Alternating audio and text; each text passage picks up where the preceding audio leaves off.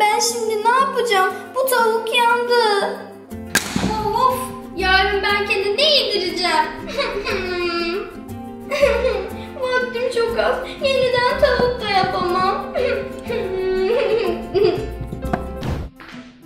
Merhaba Barbie. Bak Çin'den geldim. Sarılmayacak mısın Barbie? Hoş geldin. Of ya.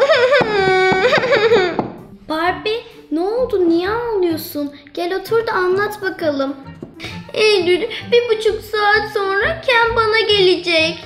Ee ne kadar da güzel. Hem sen görüşmüş olursun hem ben de onunla karşılaşmış olurum.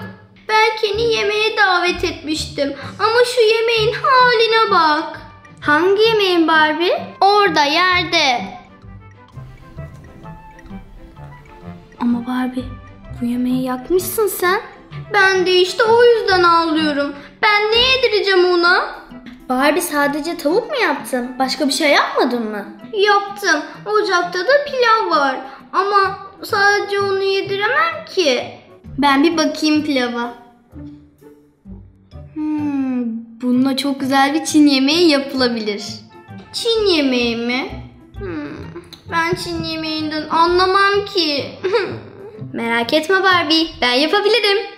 Gerekli olan malzemeler bunlar ve pirinç. Ya Eylül sen onlarla ne pişireceksin? Ben hiçbir şey anlamadım. Barbie bunlarla rol ve sushi yapacağız. İlk önce dış kısımlarını hazırlamalıyız. Yenilebilir yaprak, deniz yosunu ve somon.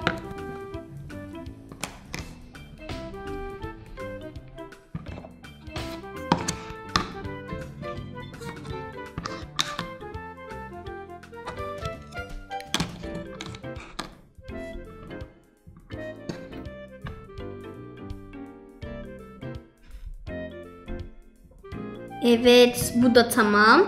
Şimdi içlerine pirinç koyabiliriz.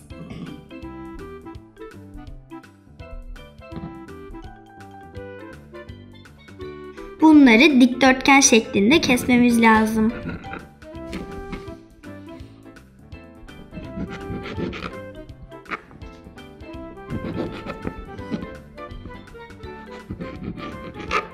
Dış kabuğu da pirinçle eşit miktarda kesmeliyiz.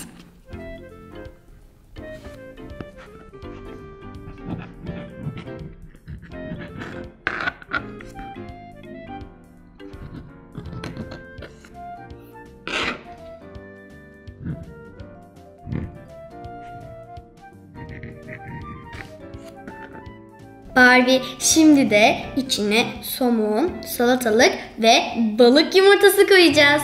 Jülyen doğranmış salatalıklarımızı somonumuzun etrafına koymalıyız.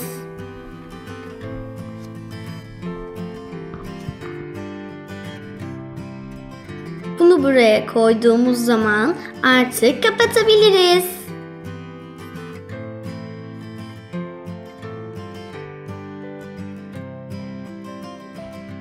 Brolümüzün içine birazcık balık yumurtası koymalıyım.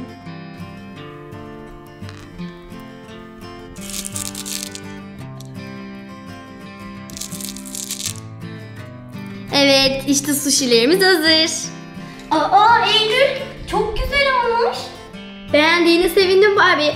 Artık size afiyet olsun. İyi eğlenceler. Ben gidiyorum.